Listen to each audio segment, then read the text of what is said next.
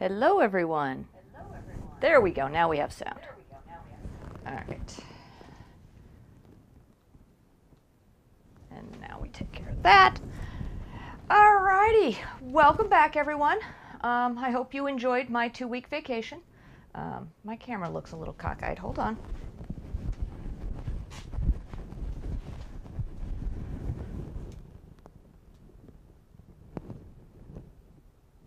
There we go. I think that looks better.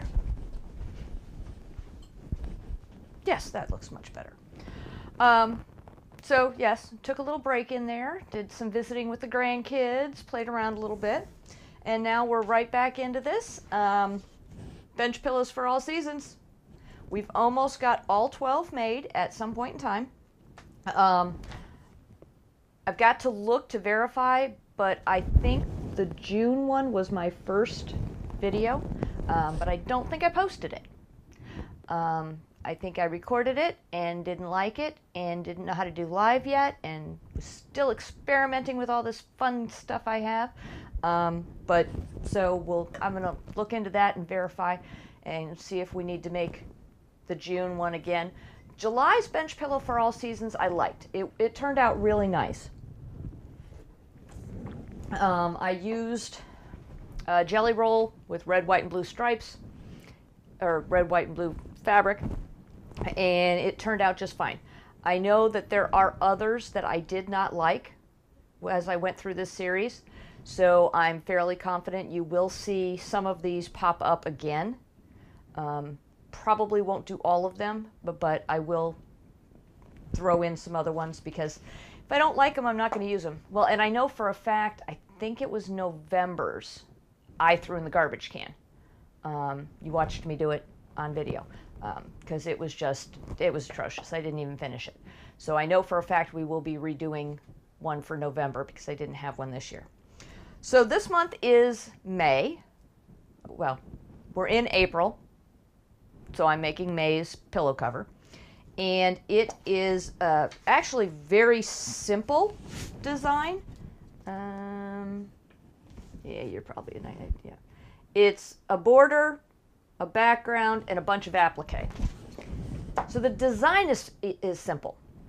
Something they do here is they've got um, what are they called? Now I can yo-yos, yo-yos um, as the flowers, and the leaves kind of pop out also. Um, I'm not very good at hand stitching. In all honesty, it's just not something I've ever been very good with. Um, so we will have to look and see how that all comes out. I get water all over the place. Um, we're to have to see how that all comes out. I ha currently have three two hour stints scheduled to do this in. Um, hopefully, we'll be able to get it done in those three two hour stints because like I said, I've not done, sorry, technology. There we go. I don't know why it closes. I still don't know. Even after the two week break, you would have thought I would have looked into it. No, I, I didn't. um, but so, needless to say, we're going to go through and make this. And if we do need a fourth part because of all the handwork, we'll have to we'll have to get there when we get there. But so the first thing we need is a half a yard of white with dots. So that is what they are using as the center, the main background. I'm going to switch to that camera there and give you, nah, it's not going to work very well, is it? There we go. Wrong way. Always do it the wrong way. There we go. All right. So that is the white dot fabric that they're talking about. I am going to use an off-white stripe, so a tan stripe. Um, I don't have anything that looks like that, and I actually think I'm going to like this with the brown. Um, it's going to be darker. My whole pillow cover is going to be darker than theirs is going to be because all of the fabrics I'm using are slightly darker. Um, so it's all going to be a little bit darker. But I said, I like this fabric. I think it's going to look nice, so I'm going to use that as my main fabric. Then the next thing it calls for is a third of a yard of pink floral. That's for the border. Last month in April, when I was working on something, I found this. And I decided that I was going to use this for this month's border. So that's what I'm going to do. It has red, yellow, and blue flowers, and then the green. So it is a floral, but it's not pink. And I'm okay with that, again, because I'm not necessarily going for the whole... I, I, I get the red thing, and we'll talk about that in a few minutes, but that's what I'm going to use there. Then it says a fat eighth of brown tonal. And I assume there is there are two little birdies looking out like a window chirping. And the brown tonal or fat eighth of brown tonal is for the outside of that. I am going to go and use my brown that looks like wood because it doesn't really look like a tree. It doesn't have any tree holes in it. It looks more like a wall. But I'm going to use that so like it's a bird house. So the little birds are in a bird house. And I'm going to use this as that fabric. So I'm going with that one. Then it says scrap light brown, taupe, dark rose, assorted greens, gold tonal, and assorted pink and yellow tonals. That is for the tree branch.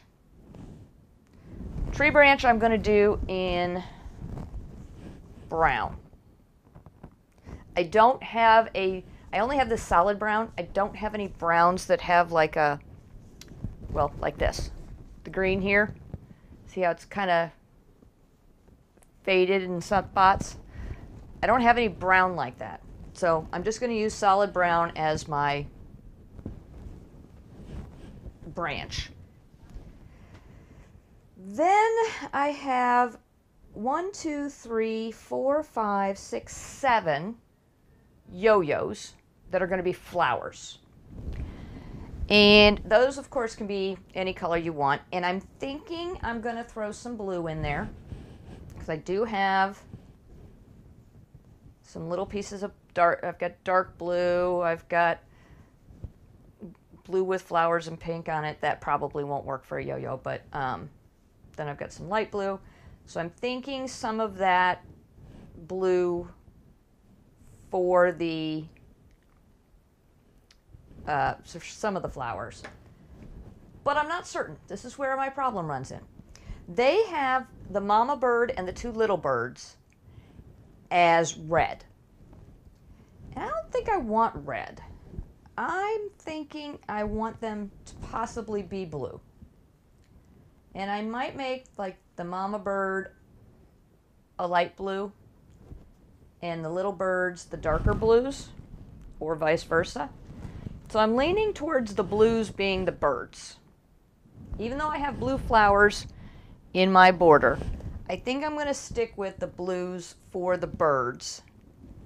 And then I have, I feel like I'm missing some yellow here. I have lots of different pinks and yellows. I even grabbed a little bit of a purple, depending upon what my mood is.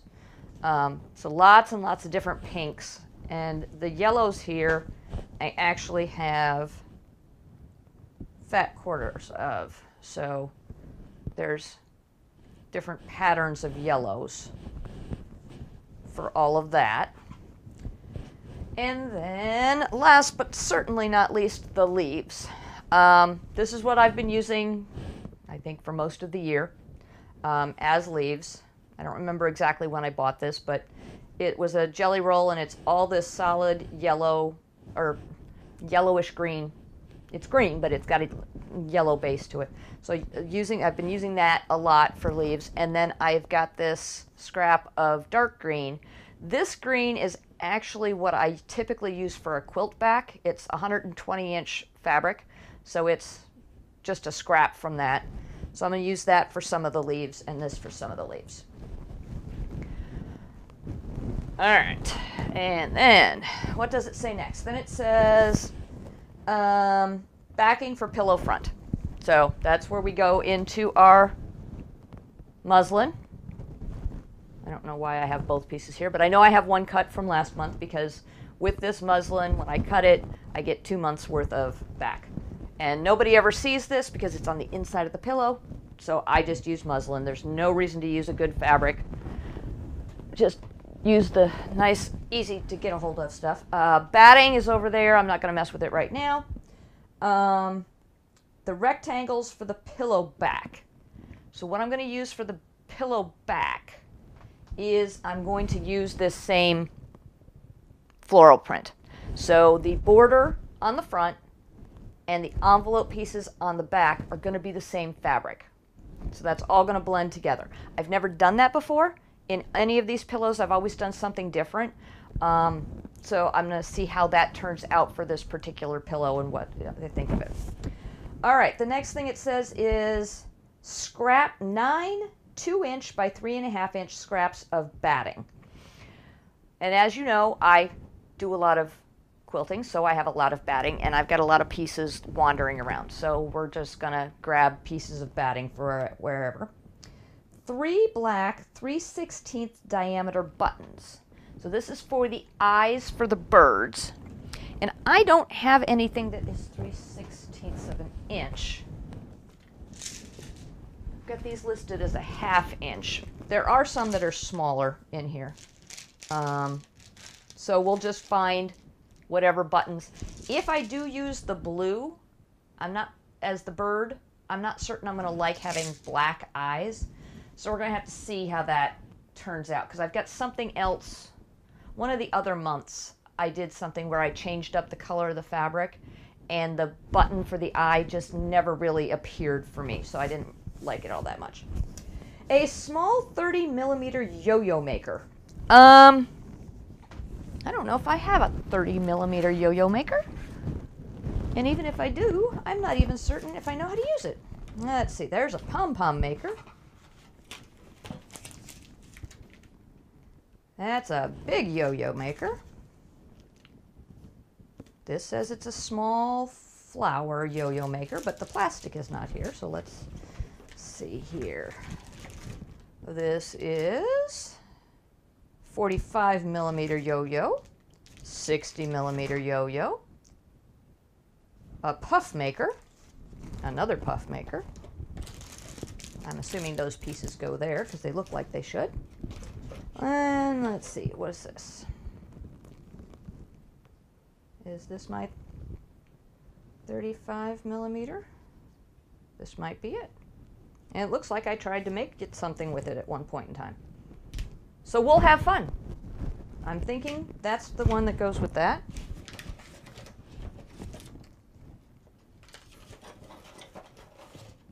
Lots of these things.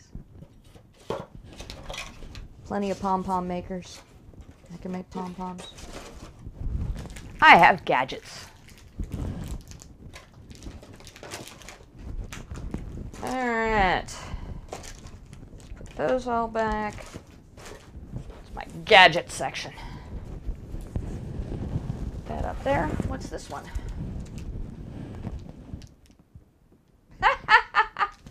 Thirty millimeter yo-yo maker.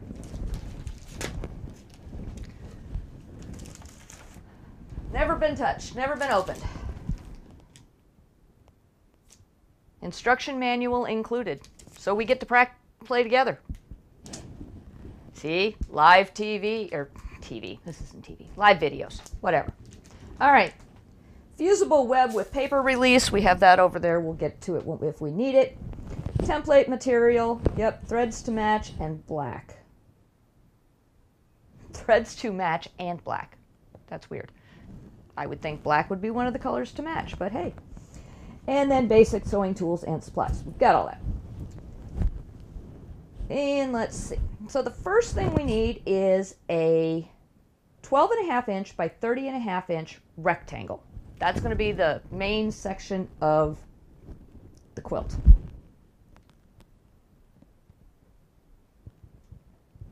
And I'm assuming we don't, yeah. So it, we're not going to attach the, the border until later on. First thing we're going to do is we're going to make all the stuff on the inside. So let's go there first.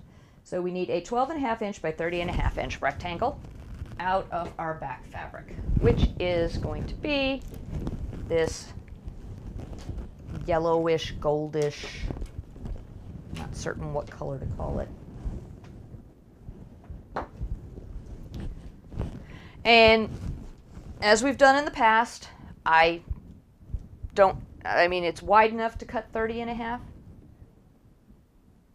It is 30 and a half, right? But my cutting board is only 24, so we're going to fold it in half and we're going to cut it halfway. There we go. Now, here's our edge. We're going to snip about an inch, about an inch in on the salvage. And then we're going to tear the fabric.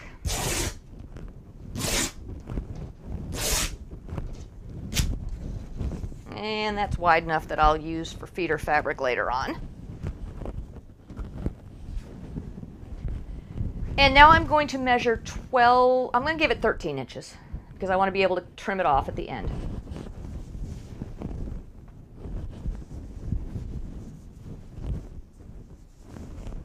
Because I can get the 30 and a half lengthwise. So I'll worry about that then. Line up my torn edge.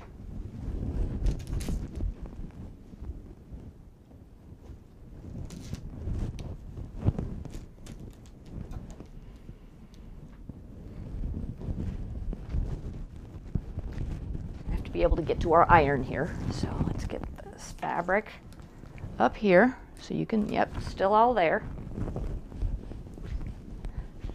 That's our stack of fabric that we're going to be using. Need that because we're going to need our iron. Excellent. All right. So straight edge along the edge of my table, which is where my zero on my, because I've got a tape measure taped to my table. I'm going to 13 inches. Little snip. And a tear.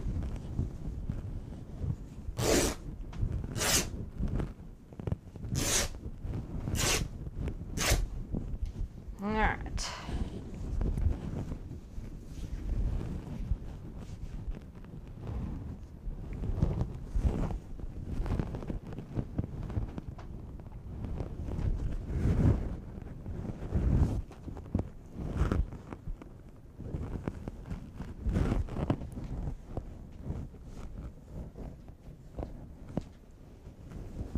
little windy outside, making some noise. All right, let's see here. There we are. And set that off to the side because I will probably find that I need it at some point because I screw something up. So we're not putting it far. We're not going to put it away. We're just going to set it off to the side. All right, and now. So, why did I tear the fabric? I tore the fabric because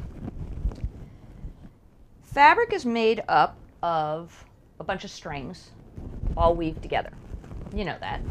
It's a basic thing that you're, yeah. So, when the fabric is put onto the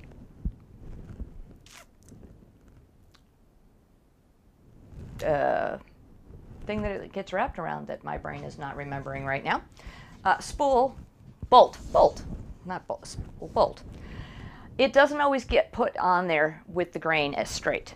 So as you can see, these two torn edges don't match up. And in order for a garment or a quilt or anything to hang correctly, you need to make sure that these pieces of thread are right next to each other when you cut it.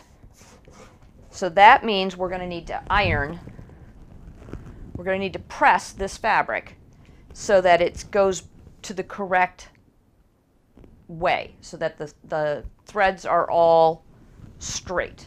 Because right now, if we were to cut it right now, using the fold that was on the top here, that's not going to work. It's going to mess it up. It's not going to be straight of grain, and things just are going to get out of whack. Um, with these particular things, with these pillows, it's not as noticeable, but it is. Um, there was one that I did where I I didn't mess with. I was using uh, fat quarters instead of full fabric for something on the edges, and they're a little wonky.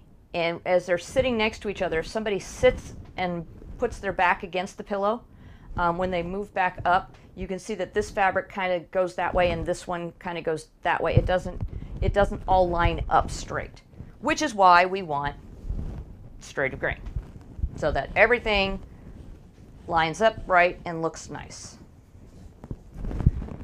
So let's get this fabric pressed. Okay, my water bottle is not on my table. Where's my water bottle? Did I move it? It does not appear to have been moved by me. But I don't know how anybody could have gotten in there. There's not a lot of space to walk around. Hmm, interesting. Let me go find another water bottle. I'll be right back.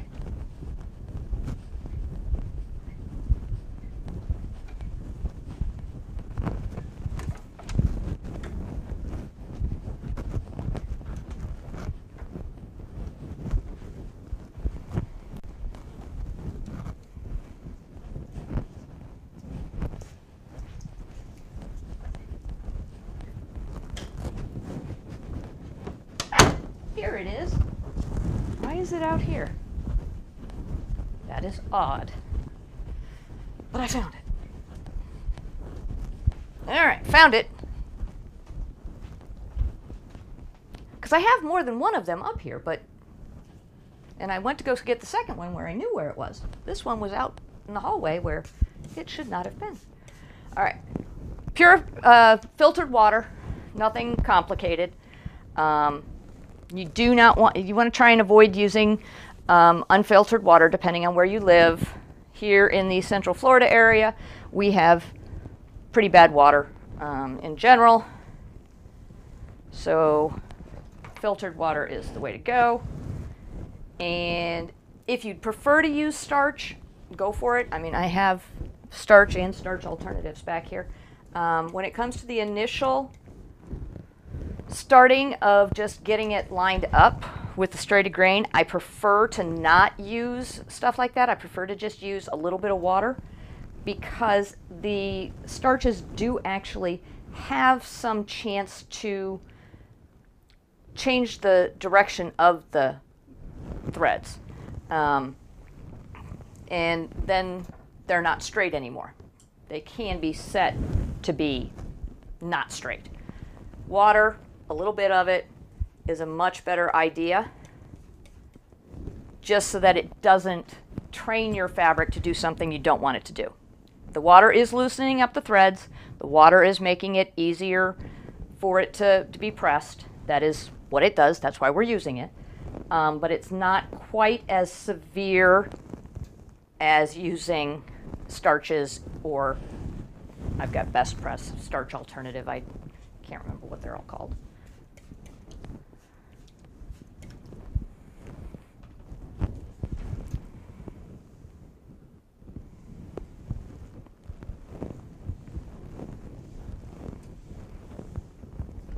Alright. So now we're going to match up the threads so that it is straight on grain. It doesn't have to match on the salvage. That doesn't matter. The salvage doesn't matter. Where the fold was doesn't matter. What matters is the threads along the torn edges match up with each other that's where you're what you're going for. That's the important part.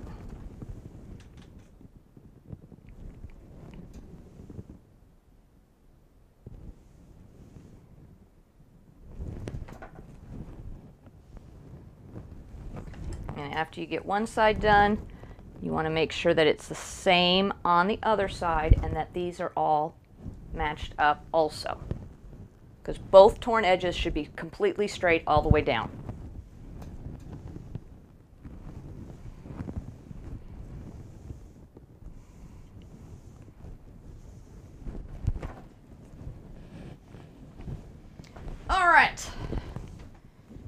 Now we have, let's see, can I get you to switch views a little bit? Let's see.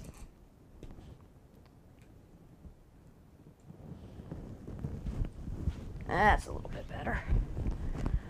But you're not in focus, are you? No, you are not.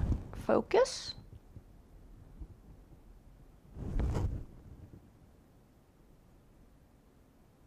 That's better. Okay, so our fold is over here, and we need this to be 30 and 1 half inches wide. Since I've got it folded in half, that means I need 30.5, 30 and a half, divided by 2, 2, so that I can get half of it. So that's 15 and 1 quarter inches.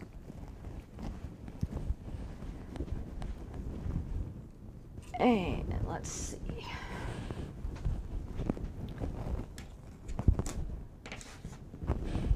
That's going to be right at the tippy top. So double rulers. I'm going to start with one on this side. And I'm going to go to 15 and 1 quarter inches and put that right on the fold. Make sure it's straight all the way along the fold. I'm going to take my other ruler I'm going to butt it up against it so that we have, we're using two rulers here. This one's going to go away. Open up my rotary cutter. And there we go. Put this with the other piece. And because I have a ruler down here, going to measure this from the edge of the table on my ruler, and you can't see it because it's too wide. So, to 30 and a half inches on my tape measure. So we are happy. We have it the correct distance or width. Now we need to make it 12 and a half inches wide. First thing I'm going to do is trim off this edge. Again, lining up on the folded edge and this time making sure it's also lined up on the top cut edge. because we know this is straight. We just cut it. And we want it to be on both sides. So keeping it even, making sure it's straight. Up we go. And it needs to be 12 and a half inches wide. So again, 12 and a half. Oops, wrong ruler. 12 and a half inches, lining it up on the cut edge. Take the bigger ruler and butt it up so that it's even. Make sure the fabric's flat.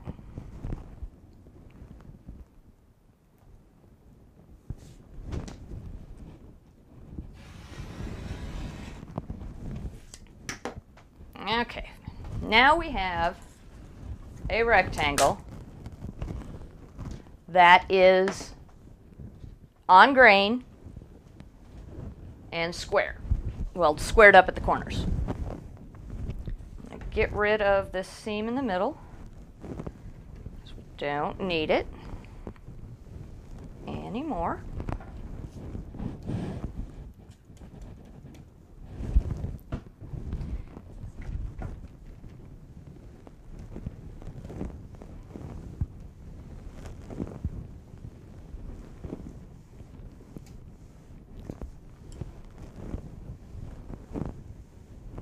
Mm-hmm.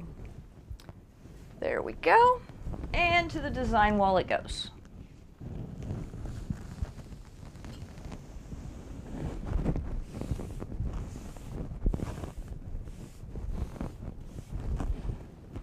There we go. So we've got the first piece of fabric. It says to cut the um, border strips. Sorry, sidetracked. Um, from the floral, and I'm trying to think. I need two and a half inches by two and a half inches. Oh, the sides are wider. I got a fly in the house. All right. Um, so that would be five. 16 plus 16 is 32. 33. So a four and a half. So I need nine and a half inches wide. I'm going to go with 10.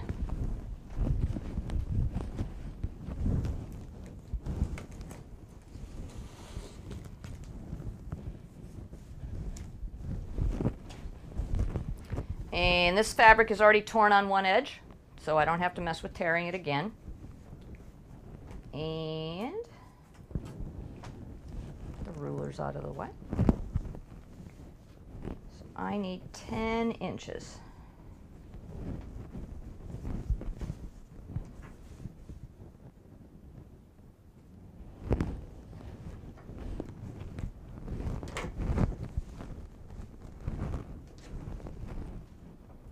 And remember, you don't have to be as exact with this because we're just tearing the fabric to keep the grain straight and we will worry about actually cutting it later. So if it's not exactly 10 inches, don't freak out. It's not going to hurt anything. This is simply for to make sure we have enough fabric to get our four borders out of it. All right used fabric goes over there. Oh, nope, that's going to be used later because that's on my back. I forgot. I forgot that was my back also. Okay. Fold it up.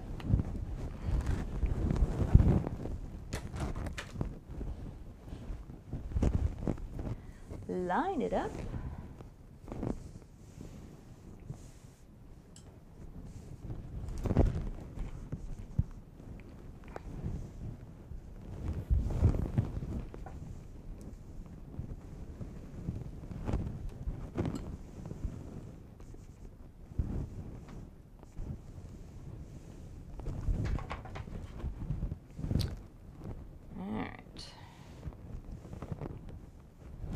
Being a little stubborn here. So we will have to convince it to do what I want. Using a little more than I usually do, but I don't, but it's, it's a, it's a nice quality fabric, which is part of the problem. it's a problem and it's not, it's a problem because the fabric is, is, when it's a better quality, it's a little heavier, a little thicker, it's got a little more oomph to it. Um, but that also means that it's more challenging to get the folds out of where it was pressed before. Um, all right. Now I'm going to go over here. I'm actually going to stand on the side. Let me get you set up. There we go.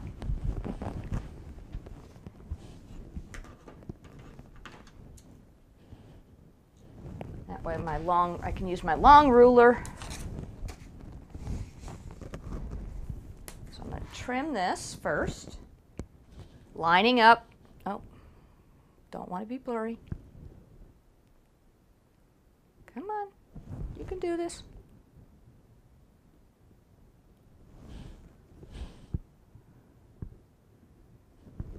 Come on, silly camera. There we go. All right. So I line up on the fold, making sure I'm straight. And I'm just going to trim off the edge here of the torn piece of fabric because I don't want that on my pieces. Okay. Now, I don't need to use two rulers this time. This time I can just use this ruler. So I'm going to turn my fabric around.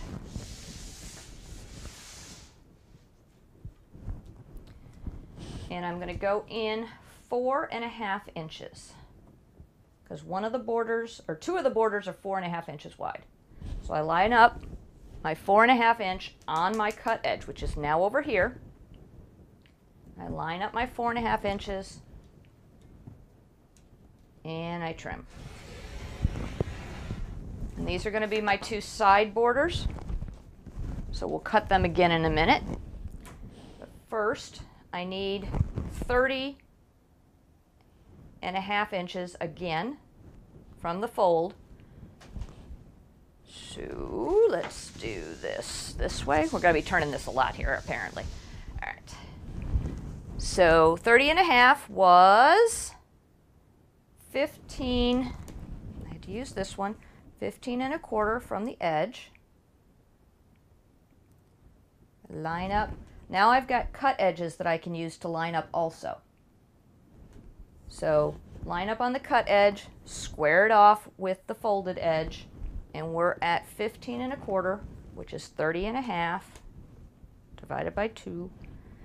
Make sure this ruler is also lined up. And now we have extra fabric for later. And this fabric now needs to be cut into two two and a half inch strips for the top and border, top and bottom border. So two and a half.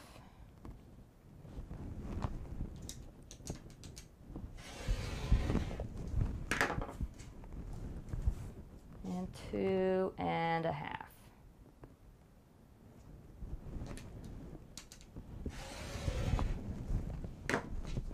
This is too skinny to use as starter fabric. I mean, it really isn't, but probably is. So I'm just throwing that away. And now our four and a half inch borders need to be 16 and a half inches long. Let's see here. If I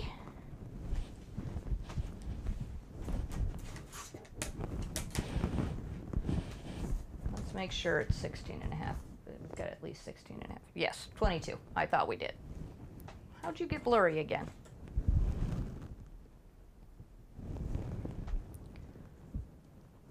All right. So to make this work, we're going to cut off the fold. So just like we've been trimming off the edges that are torn, we're going to do the same idea here. We're going to we're just going to trim off the fold because we don't need that.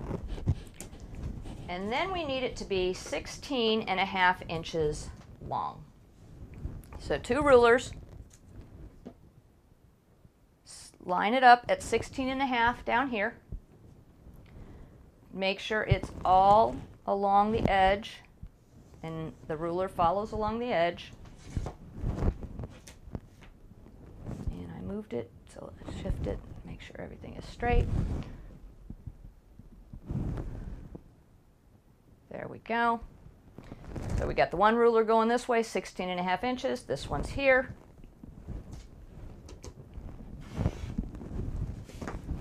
Extra fabric for possibly later. Our rulers get set aside. Let's go out here. All right, so our two and a half inch strips are going to go on the top.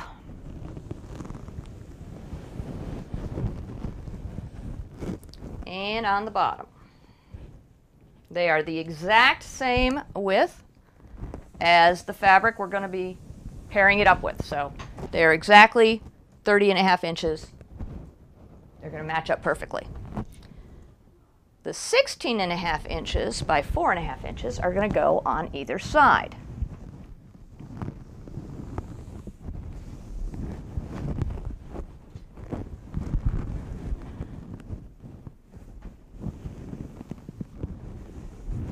And keep in mind, when you're doing this, you're looking at it and you're like, but those aren't going to be long enough for these. We're going to get rid of a half an inch here, one quarter inch on the border, one quarter inch on the center section. Those two added together is a half an inch. So that's going to go away. Same thing's going to happen down here. So if we lose a half an inch here and we lose a half an inch here, that means we're losing an entire inch once we sew these pieces of fabric together. So keep that in mind. It may look a little weird right now, but it will make sense in the end. All right, then it says to make circles if you're not using a yo-yo maker. I'm going to use a yo-yo maker because why not? I have one. I've just never used it.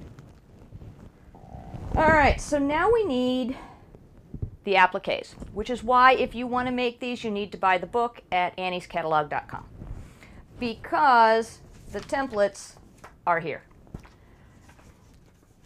I guess if you are really creative and can do this by hand, you can do it. I am not. I am not that creative. I need patterns. I need things to tell me what to do and how to do them. That makes me happy. But let's see here. Um, I'm looking for May is for mothers. That's got Christmas on it, so I'm guessing that one's the later. Now, let's see. May is for mothers. There we go.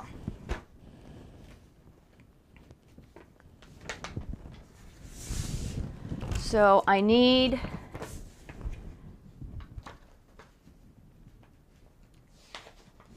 the long and short branch.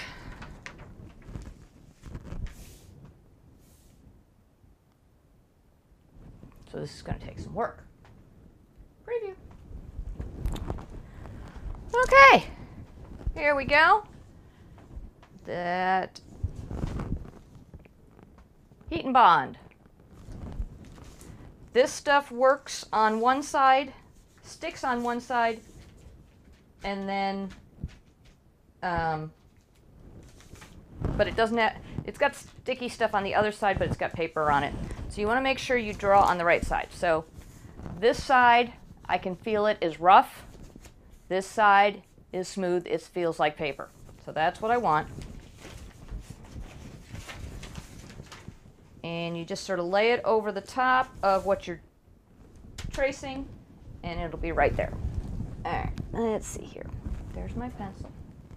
There's my pencil sharpener.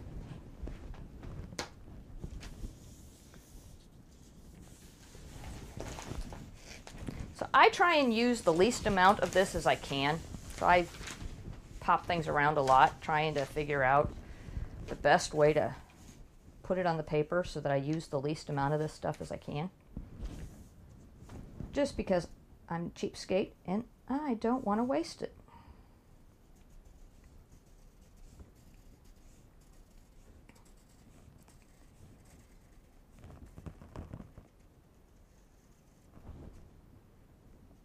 All right, let's see here.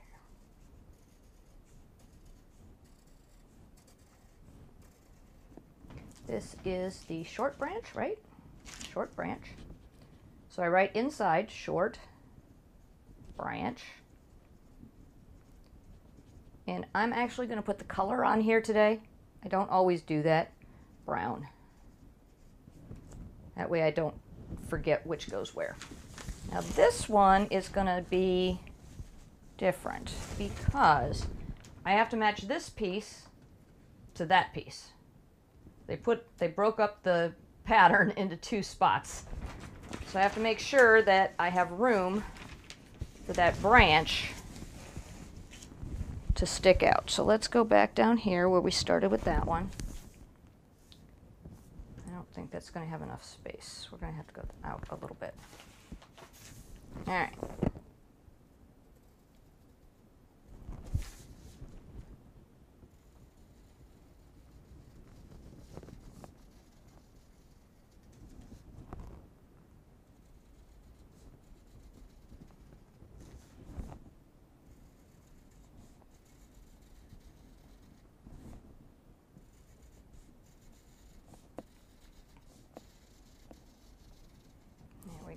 Now we're going to match this up to this.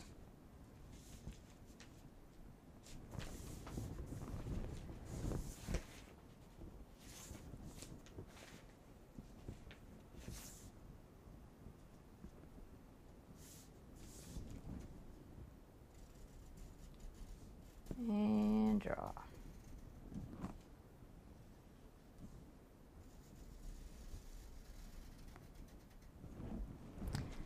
This is Long Branch. And brown. Again, fly is flying around. Please forgive me. Drive me crazy. Next thing I need is light brown for the nest. So the light nest is going to be the brown that I'm using for uh, for the strips. But actually, now I'm looking at something. It, I didn't realize there were two pieces to the nest. One's the inside, one's the outside. All right. So, oops.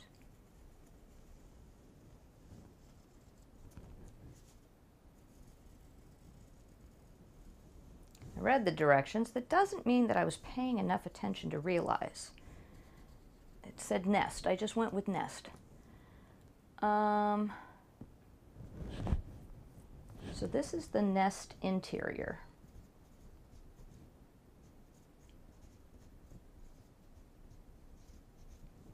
We're going to need two different colors, one for the interior, one for the exterior. I'll have to figure that one out. So color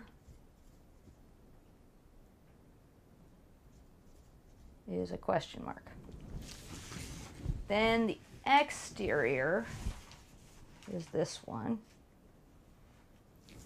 This I know I'm going to use that brown that looks like wood, that looks like somebody built them a bird, bird house.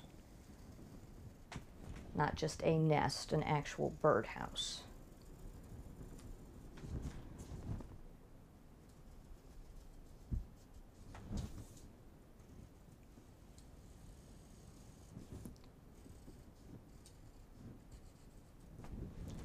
And what do we call this?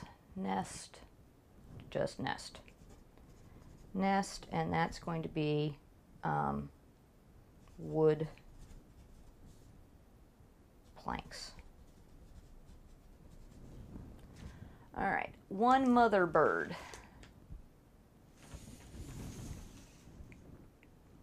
Where's the mother bird? Ah, A is for mothers. Mother bird.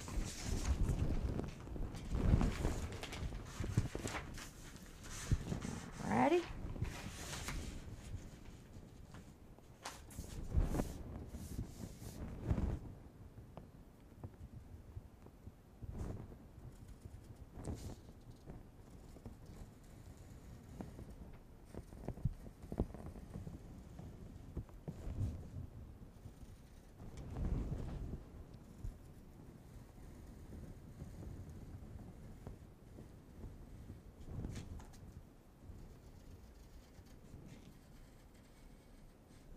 All mother bird.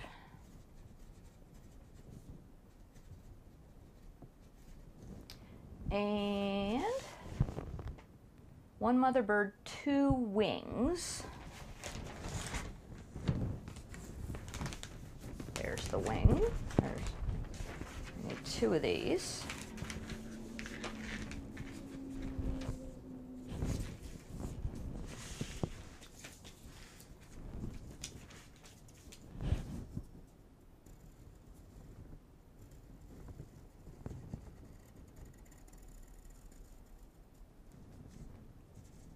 wing one.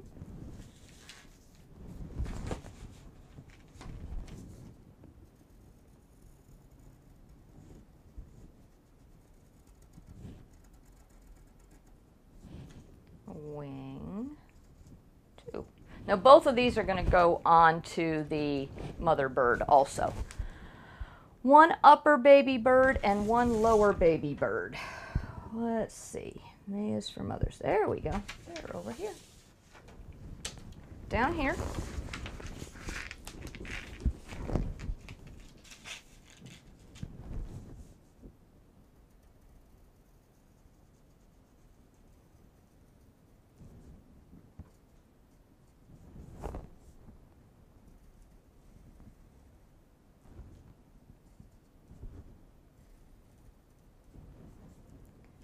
This is the lower baby bird.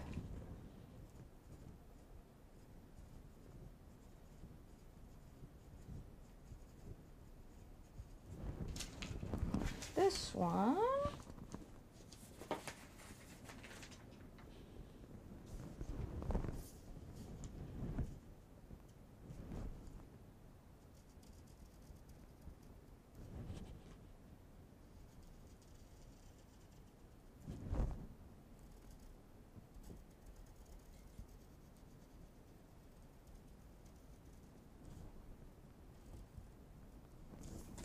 is the upper baby bird.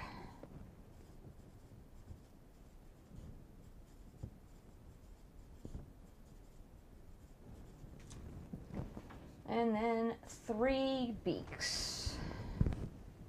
Um, April. May is for Mother's Beak. There it is. Three of them. And I am going to have to find my gold for my beaks. I know it's around here somewhere because I used it last month for April Speaks.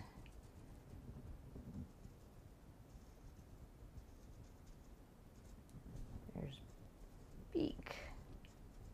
One.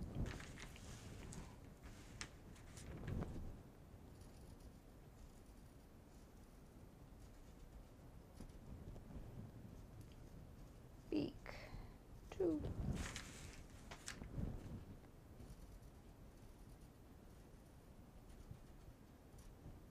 And beak. Three.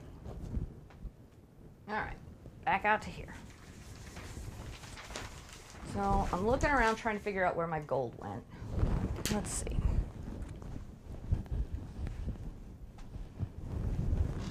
Up there. Yeah, there is some.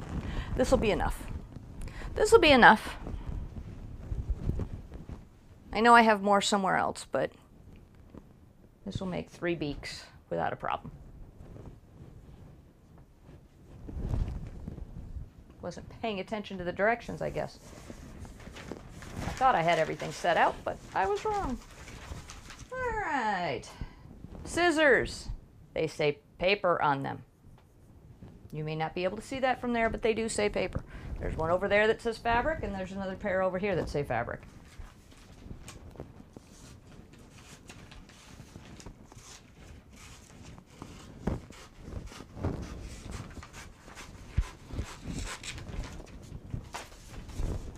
Okay. Let's get this rolled back up.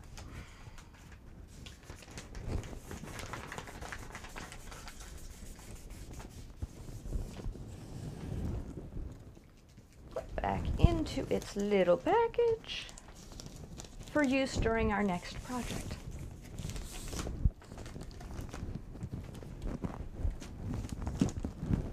I don't remember what June looks like.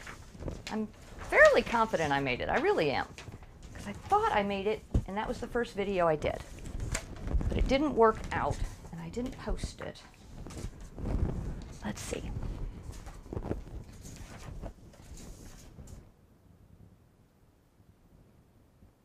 Actually, I don't think I did make it.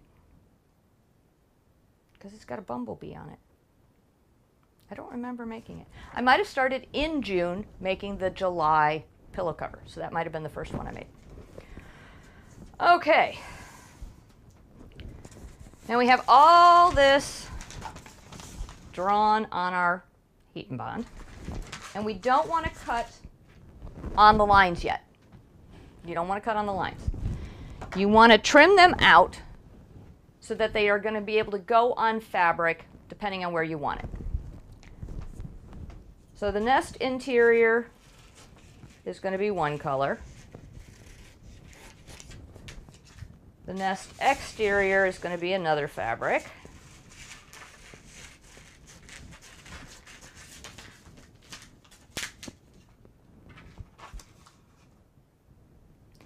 Right. Mother bird.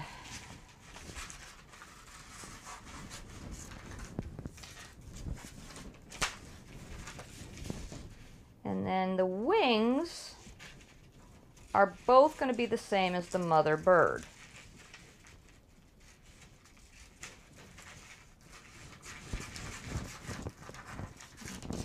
Your branch. So those are going to go together. Let's get the other branch out of the way.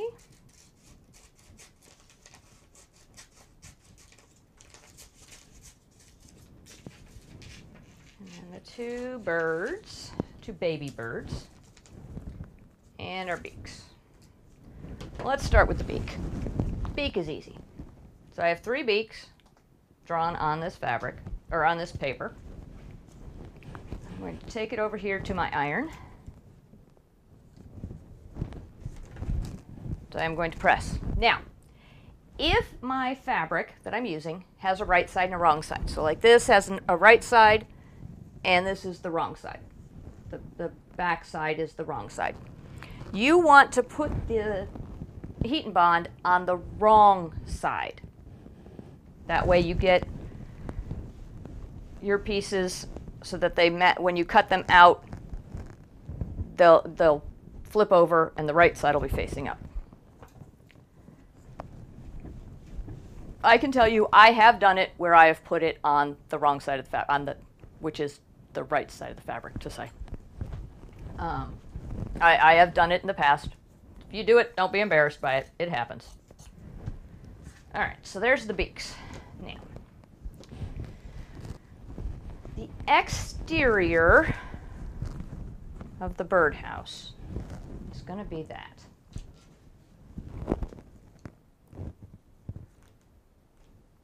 Hmm. So I know that.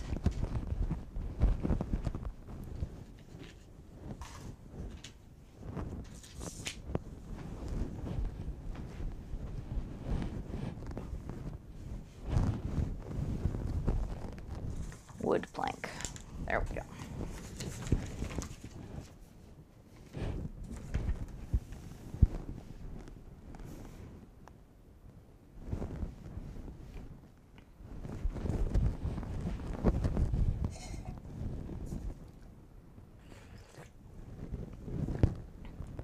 I guess I could make the inside of the birdhouse look like it was painted or something.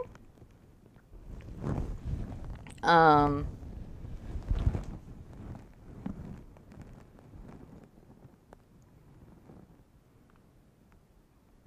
or I could just use the solid brown that I'm using for the tree branches.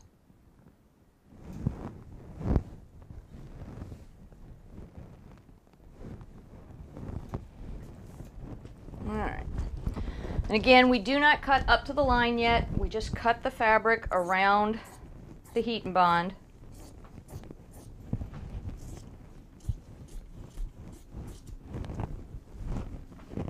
That we can use that, trim that up later on. If you really want to cut them all out individually, go for it. Um, at this stage of the game, I prefer to have them a little bit bigger so that they're easier to use, but your call as to how you want to do that. We may have a kitty cat visiting, I'm not certain. She's jumped up to look out the window. I'm just not certain if she's going to head over to us or not. All right. That's just a piece of scrap. Um, I'll get the brown and do the. Didn't tell me to cut out the leaves, and I know I'm going to need leaves later on. Why didn't it tell me to do that? Does it tell me later on that I just didn't remember? Um,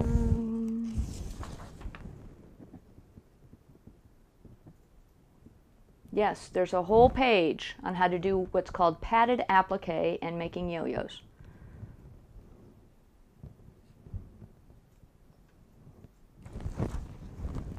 I'm going to guess we're going to stop at a certain point today because that, well, that may have to be a whole show all by itself. All right, let's see. Birds are over there. I need to do need anything really wide. Oh, I'll kind of, sort of, maybe there.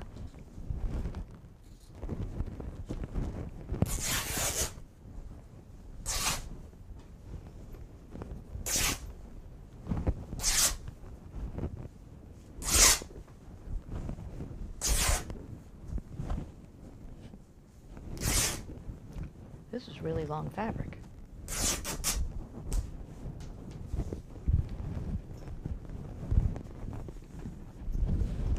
Let's see here.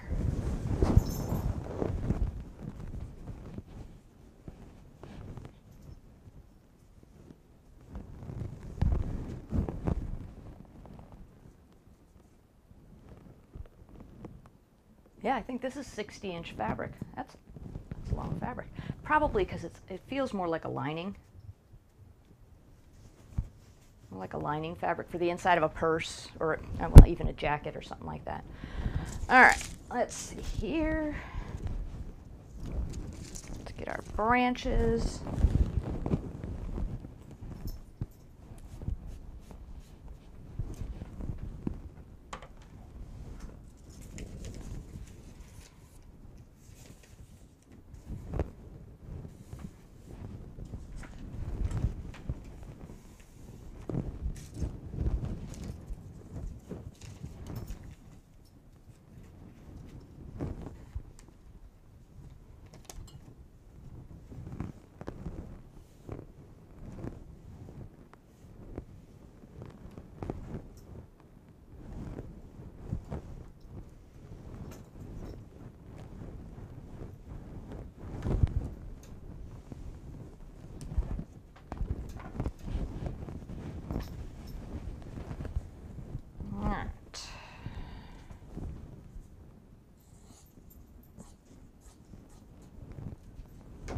Branches.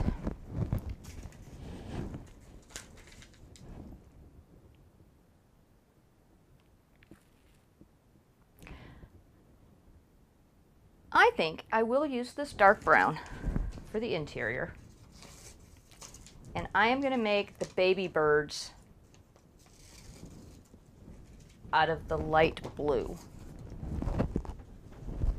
That way they'll stand out maybe I'll use the light pink and have the bird be pink instead of blue. And then do some of the blue for some of the, the flowers. I don't know. We'll think about it some more as we go. What I'll probably do is make a bunch of yo-yo flowers out of a bunch of different colors and then decide which ones I like where. But I think if I use the pink the light pink for the birds, for the baby birds, it'll ref- it'll bounce off of this dark because it, it calls for taupe to be the interior color, and that's a darker color. And they but they've got a dark deep red for the light for the baby birds, and I'm not I don't I don't know. I just don't know. All right, there's that. So I need to decide on the mama bird and the baby birds. Let's see. Move that out of the way. And the yellow. Okay, so here's all my blues and my pinks.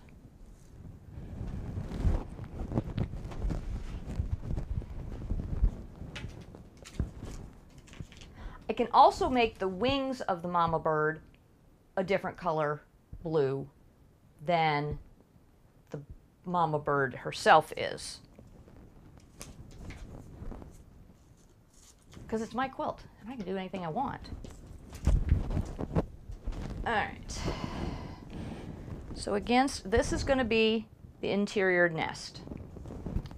So what color do I like best? I like the purple, but can't use the purple. Purple doesn't make sense for a bird. Blue bird does make sense.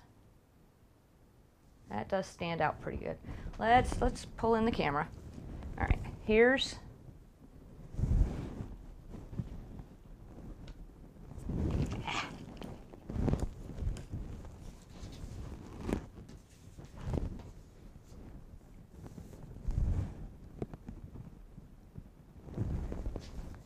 Here's what we're going to use for the interior nest. And we're going to have two little birds sitting against it. So I've got the light blue. That will pop, definitely will pop. I have the dark blue. I don't like that. I don't like the flower blue for a bird. I think that's just silly. Um, you know what I could do? I could make one blue bird and one pink bird. Now I say that I don't know if birds. I, I thought birds were all the same color, so I have to pick. That's my thing. I have to pick the same color for all three birds in my mind's eye. I feel like I have to. Um,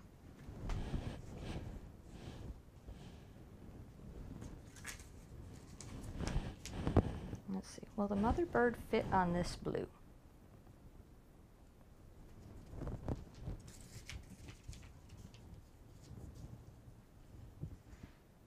Barely, but yes.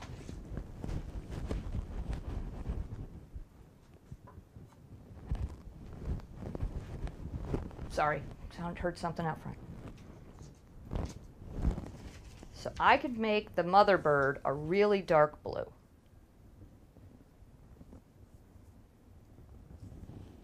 And then make the baby birds the light blue. I'm going to do that. All right, let's see here. Now, my HeatnBond goes over the edge of my charm square here a little bit. So I'm going to have to play. If you have HeatnBond and it goes over the fabric you're pressing on, it's going to stick to your ironing board cover. So trim. You have to trim.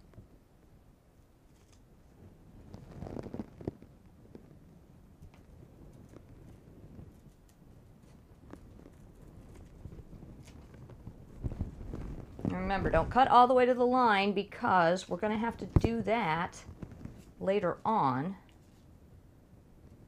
when we actually cut the bird out of the fabric or whatever applique you're using. In this case, it's a bird.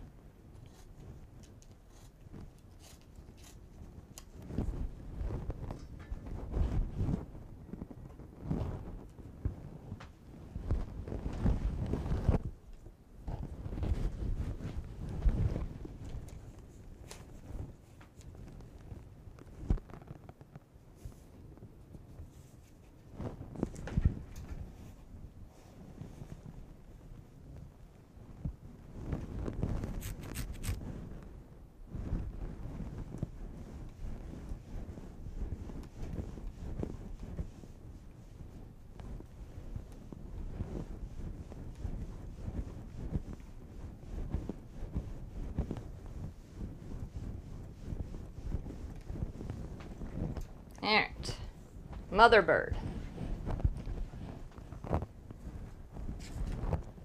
So the two baby birds, I'm going to do the same fabric. So I'm going to leave them together and put them on this other charm square, which again, I have to trim just a bit so that they fit.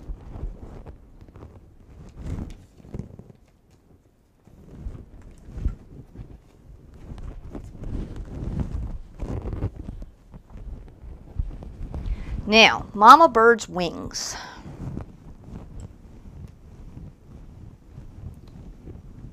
Should I make them the same dark blue as her? should I make them the same light blue as the babies?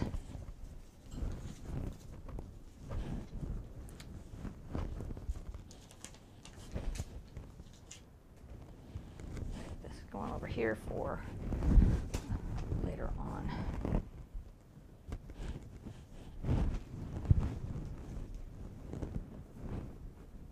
It's my blue scrap pile in case you couldn't figure that out. All right. Do I do the same color? Do I do a different color? Hmm.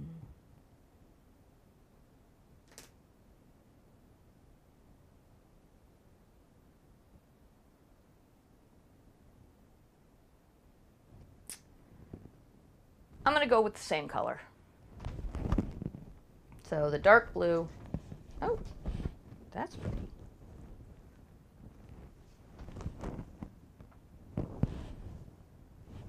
This is slightly different fabric.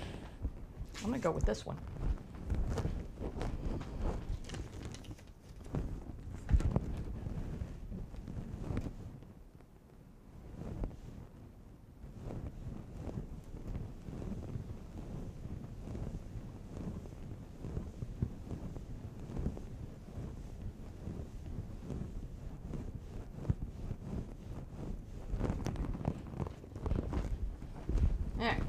Now we have all of our appliques set. I'm going to get these rulers out of the way for the time being.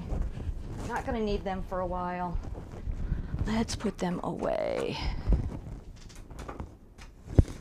There we go. Okay, so now we need to cut out our, or uh, put our appliques onto the big rectangle in the center. And the first thing it says is that the end of the long branch should be seven and a half inches up from the right bottom edge of the big rectangle. All right, so I need the long branch first.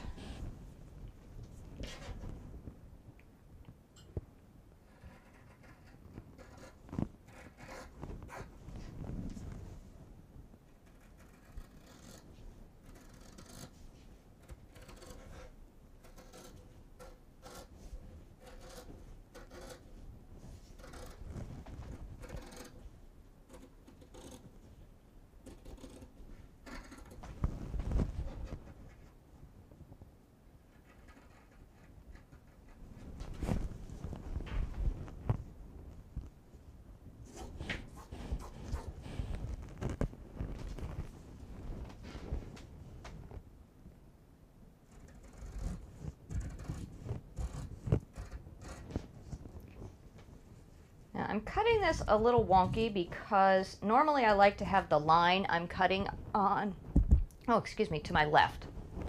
Um, I've got it to my right because of the, we're going to come up into a spot here that's hard to cut. And I'm going to have to meet, cut from the other side to meet it. So I'm just going to go there, and now I'm going to go back over here, and I'm going to be with the line on my right, which is what I prefer.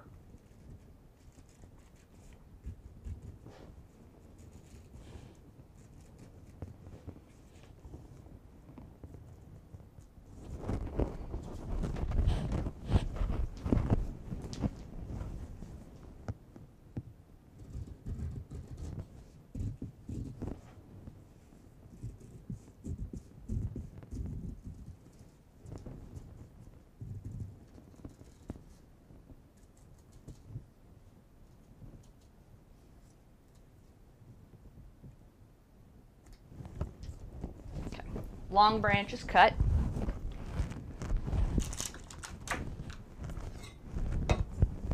And now we're going to need our rectangle.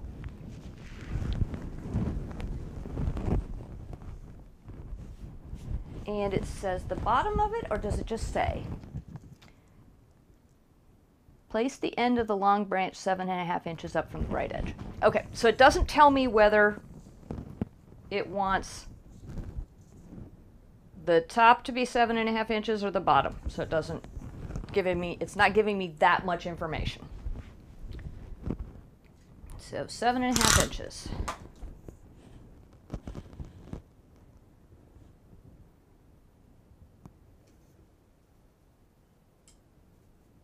And I am going to put the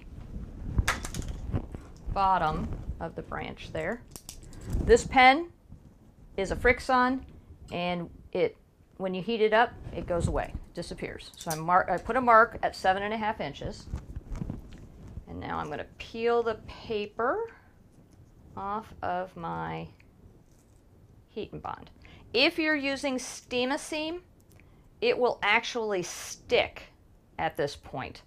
Um, once you Steam-A-Seam, once you peel the paper, like I'm doing now, peeling the paper, um, the fabric will actually stick to the other fabric. And um, so you can position it and stick it, and you can put it back up on the design wall if you want, and put some other things up there. Um, HeatnBond doesn't do that. I, I that's one of the things. That's the only thing I don't like about HeatnBond is the fact that it doesn't have the ability to let me put things on and then lift them up and put them on and lift them up and, and move things around. Um, once you put the HeatnBond applique on, it's on there. So you're done. You want to make sure you're happy with it. All right. Place the nest at the other end of the branch, overlapping a quarter of an inch. So the nest is my wood plank fabric.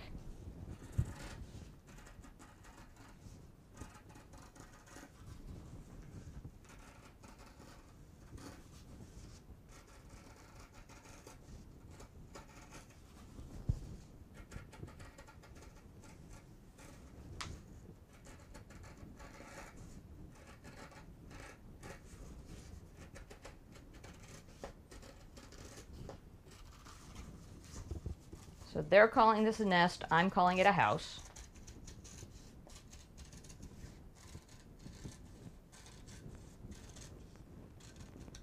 And now I have a dilemma. Do I put the planks going this way or this way? Let me go look at the computer real fast. Come with me. Well, you can't video come with me, but you can hear me talk. Let me come out here. And let me look and see. Let me look up the picture, a picture of uh, Google picture of a bird house. Bird house.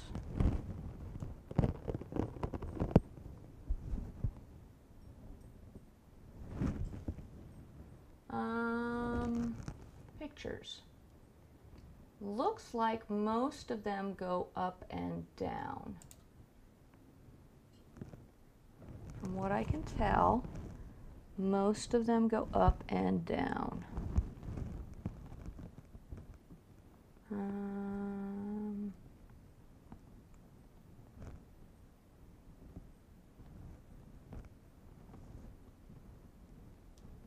let me see here.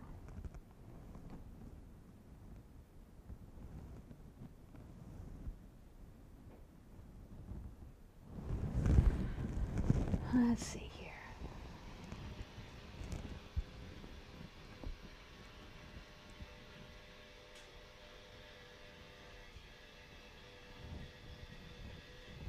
Yeah, I, I'm gonna go with up and down.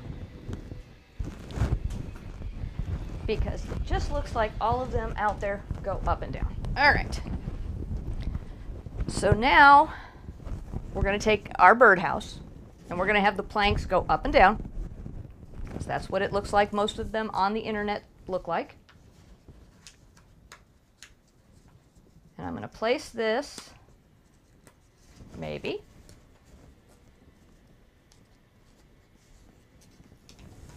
All right. Overlapping the branch by a quarter of an inch. Seems a little lower. And I'm not using a ruler. I'm not messing with making sure it's exactly a quarter of an inch. I'm also not making sure that the um, lines are absolutely straight up and down. I'm just sort of, I'm letting it, letting it go that way. There we go, keeping that where it needs to go. Then after I do that, slip the short branch one quarter inch under the edge of the nest on the other side. All right, so now we need the short branch.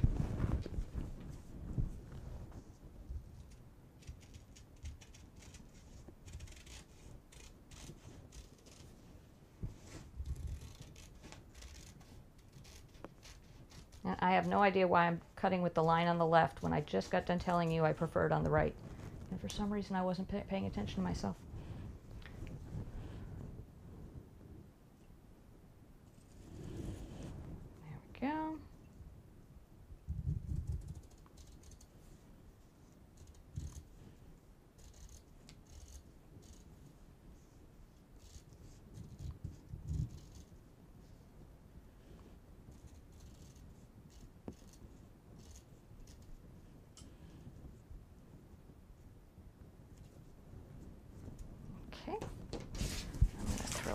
this away now. And you.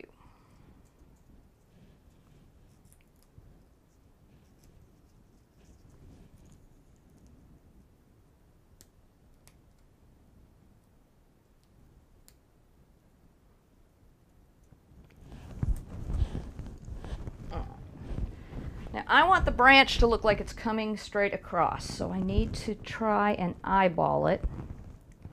If you are very particular, you can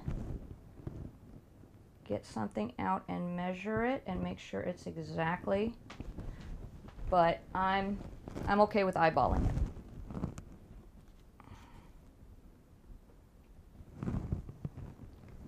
All right, so those three pieces are now on here.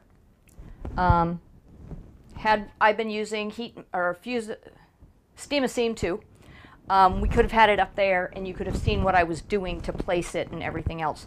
As it stands, you just get to see it when it's done.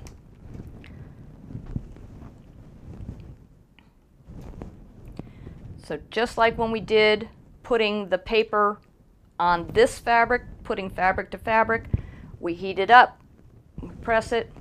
You uh, putting it now, since we have our pieces placed where we want them to be, don't push your iron around. Make sure you pick it up and move it. Otherwise, the pieces will move and you may not be happy with where they end up and you'll have to start over again because getting them separated is not something that you want to even attempt. So make sure that when you do this, you lift and move. Um, we are going to be putting other things on here. So I'm not as concerned that everything is absolutely secure. I'm, I'm getting as close as I can. Um, but if something isn't completely on stuck to the fabric right now, we're going to have another chance, another few chances, because we still got to put the birds on, uh, the, the other nest, and so on and so forth. Right. Tape measure we don't need anymore. Let me show you how this turned out.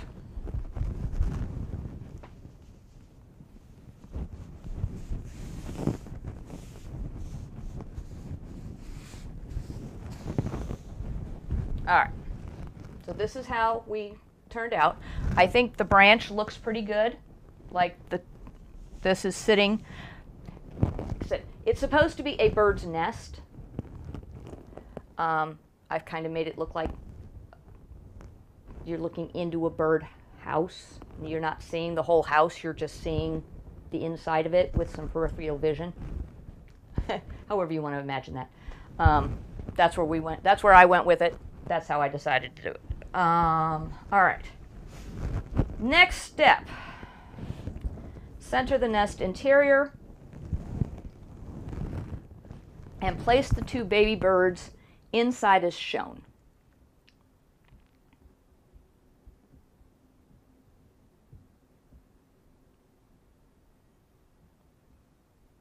There we at time-wise. Okay.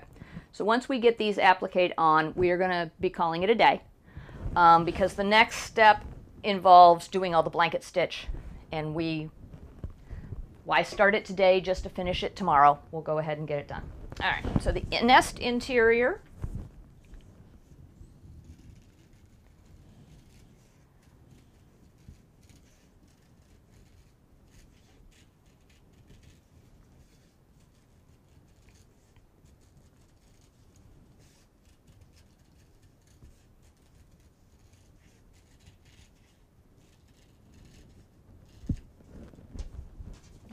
two baby birds.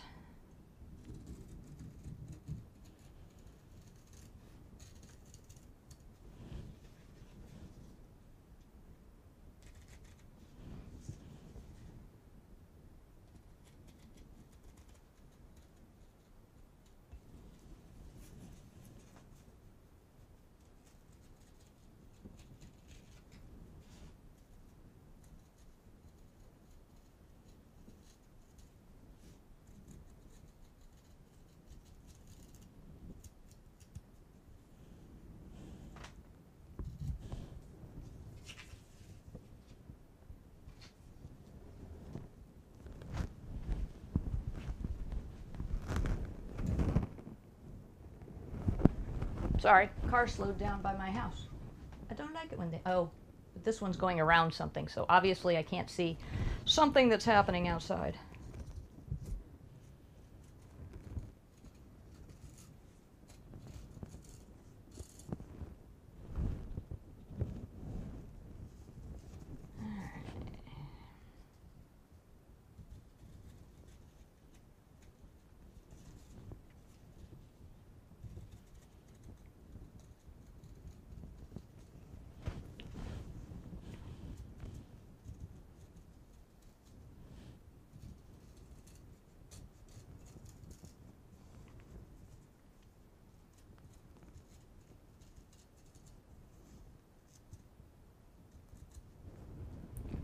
I'm going to need two beaks, one for each of the baby birds.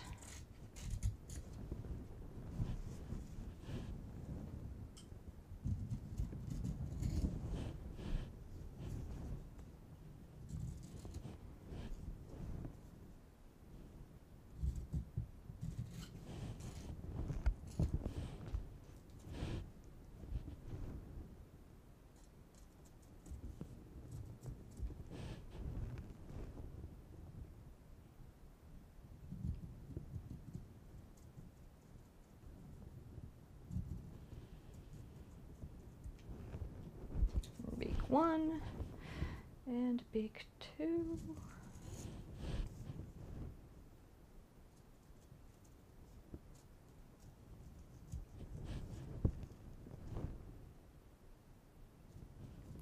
I am using fairly large scissors to do this.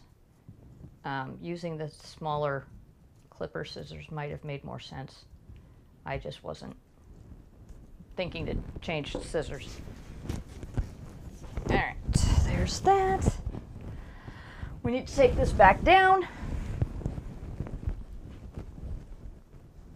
And I'm going to pull the book over because I'm not fully understanding how these birds are going to sit in this nest quite right.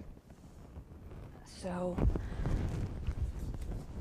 the interior is oval shaped. It's not a circle. It's a, it, the, the nest area is a circle. Um, this area is an oval. And it's got the birds sitting. So it's going, the oval kind of is elongated at an angle. So that the birds are sitting, the baby birds are in there and are chirping out.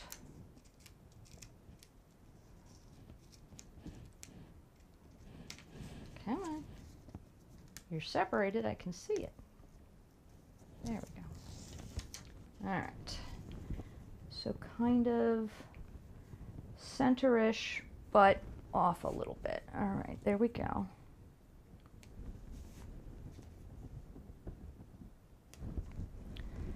All right, this is the upper baby bird.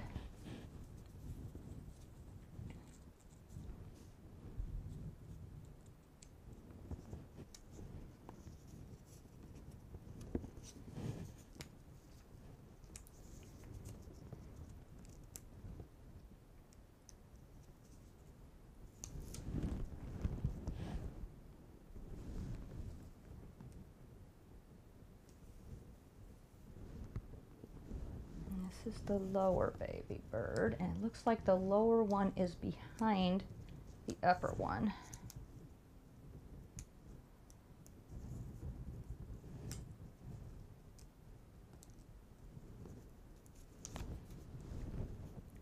I'm going to stick that a little bit behind, and that all fits around the circle.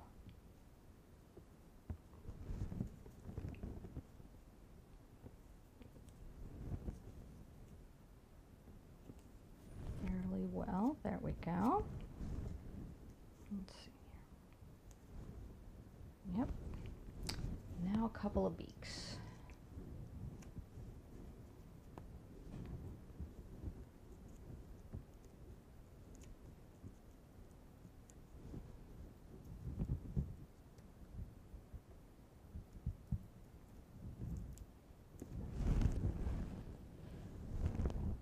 All right, beak one. beak two.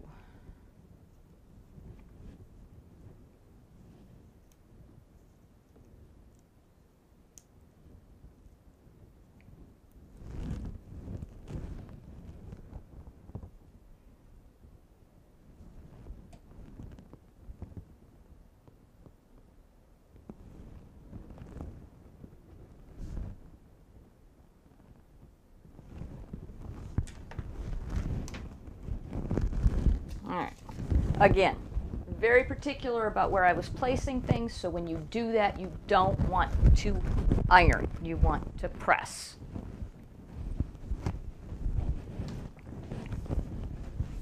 And we're letting it heat up.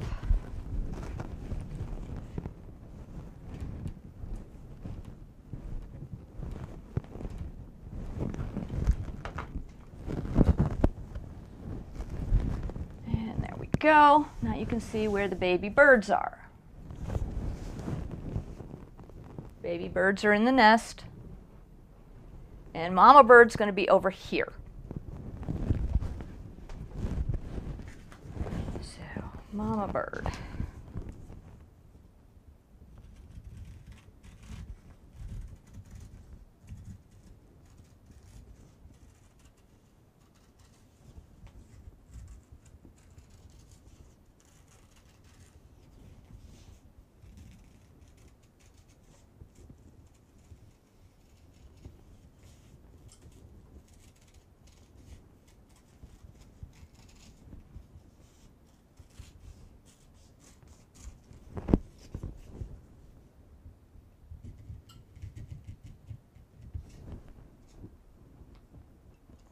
And again, when you start getting into this detailed cutting, feel free to use a smaller pair of scissors if you have them available to you, it can be challenging.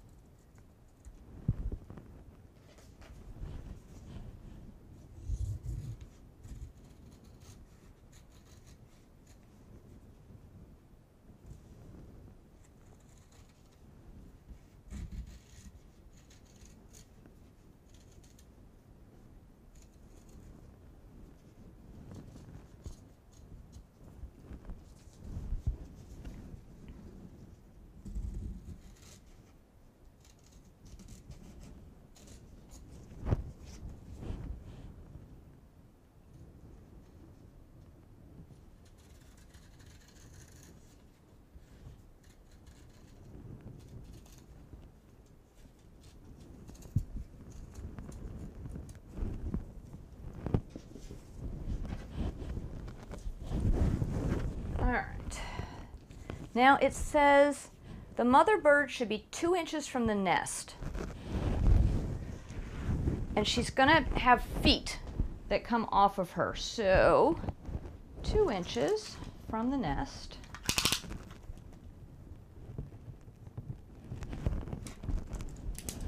And I don't want to go too tall because we're going to stitch some feet on her. The wing in one wing tucked under the top of the body and the other on the top with the point side pointed up. All right.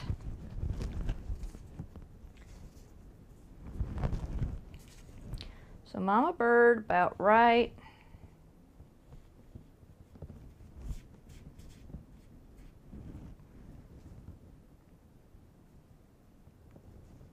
Those are her where her feet are going to be. So that's going to be right about there. We want one wing tucked in the back. How far down the back? Sorry, need the book again.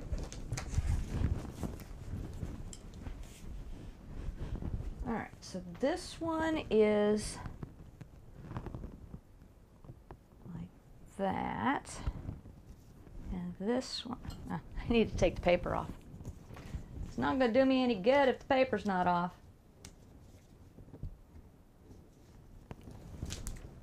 I'm going to get them all put where I want them, and then I'm going to have to pick them all up to take the paper off, which is what exactly what I had to do.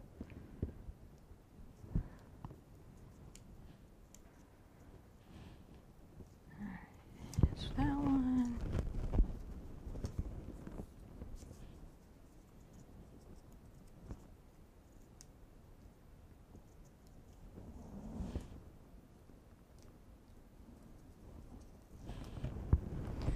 That one and the beak. Can't forget the beak.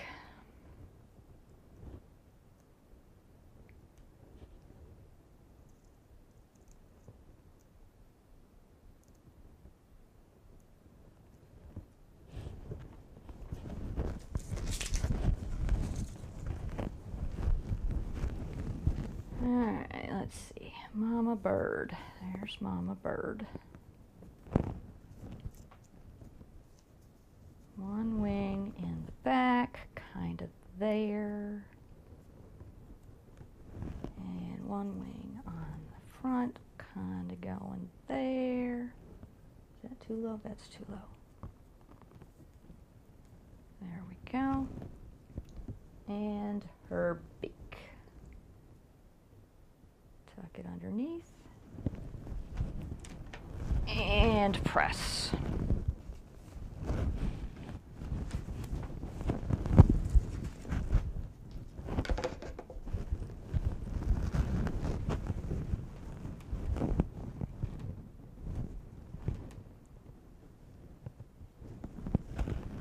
Now, can you see that? That's that's coming off. So we're going to press over here. Remember I told you we're going to have multiple opportunities to press? Because I figured that some stuff would cool off and re I'd realize that it's not actually as caught as it should be.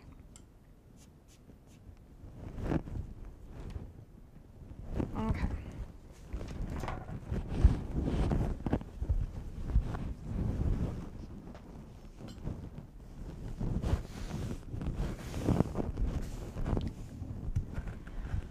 Here we go.